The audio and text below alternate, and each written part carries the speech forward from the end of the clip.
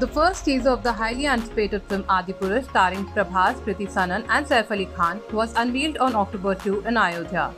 As soon as the teaser was released, it was massively trolled for the quality of the CGI and VFX. Now, following the criticism, director Om Raut has defended his film and said that he was disheartened but not surprised. The filmmaker said that the film is made for a larger medium and a small teaser of Adipurush is too massive to be contained on cell phones. He stated that the audience will have a different reaction to the VFX and CGI of the film when they watch it on the big screen.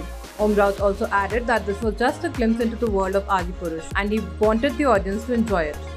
Recently, Madhya Pradesh Home Minister lashed out at the director and asked him to remove the objectionable content in order to avoid a legal battle.